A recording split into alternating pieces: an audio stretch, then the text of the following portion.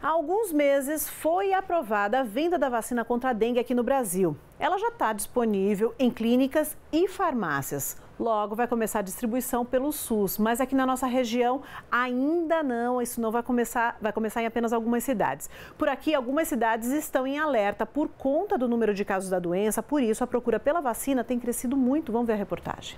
Neste frasco está uma arma poderosa para ajudar no combate à dengue. O imunizante de um laboratório japonês é aplicado em duas doses com intervalo de 90 dias. Em 2023, o Brasil registrou quase 3 milhões de casos de dengue e cerca de mil mortes. Em Sorocaba, no ano passado, foram três mortes e mais de 4.600 casos. Nesse cenário, muitas pessoas estão buscando a vacina contra a doença disponível no sistema particular. Nesta rede de farmácias, de novembro até janeiro deste ano, a procura aumentou 400%. O aumento da incidência, o aumento de, de, de casos que a gente observa e tem sido bastante veiculado na mídia, né? Então, a gente vê algumas cidades, inclusive, decretando estado de emergência. Então, com certeza, é reflexo mesmo, aumento de casos, né? É, toda essa, é, o acesso à informação é, fazem com que as pessoas realmente procurem é, se prevenir. Eles reforçaram os estoques. A aplicação é feita para pessoas entre 4 e 60 anos com prescrição médica. Além disso, a busca por testes rápidos também aumentou. O resultado sai em 15 minutos. É, a gente faz uma. uma é, o teste é por uma gotinha de sangue dos dedos, né, algumas gotinhas de sangue. E ele não precisa pedido médico, então é um teste para identificar se o vírus está ativo naquele momento. Esta clínica em Sorocaba oferece a vacina, inclusive a domicílio.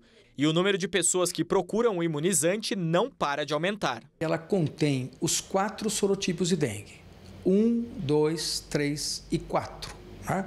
Então, por isso que é muito importante, mesmo pessoas que já tenham tido dengue, que ela tome a vacina. Por quê? Porque você muitas vezes não sabe que tipo de sorotipo você teve.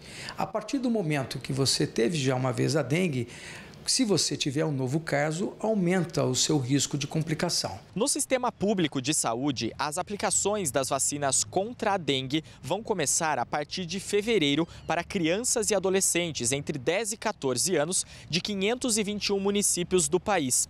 No estado de São Paulo, 11 cidades foram selecionadas para receber as doses. Nenhuma delas faz parte das regiões de Sorocaba, Jundiaí ou Itapetininga. De acordo com o Ministério, as áreas escolhidas apresentam alto risco para a dengue. As cidades paulistas que vão receber as doses são Guarulhos, Suzano, Guararema, Itacoaxetuba, Ferraz de Vasconcelos, Mogi das Cruzes, Poá, Arujá, Santa Isabel, Biritiba Mirim e Salesópolis. O Brasil é o primeiro país do mundo a oferecer o imunizante contra a dengue no sistema público. O diretor da clínica em Sorocaba explica que a vacina é segura e tem a eficácia comprovada. A vacina é um vírus atenuado que faz com que o seu sistema imunológico produza a proteção.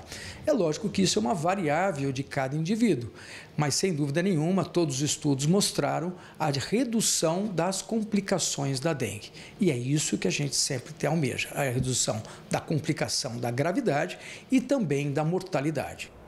Vamos atualizar os números da dengue aqui na região. Em Jundiaí, o número de casos de dengue cresceu 58% em uma semana. Na última sexta-feira eram 50, hoje são 74. Em Itapetininga, o aumento foi de 76%. Os casos saltaram de 39 para 69. Enquanto em Sorocaba, 106 pessoas testaram positivo para o vírus, 63% a mais do que na semana passada, quando os casos eram 65 apenas.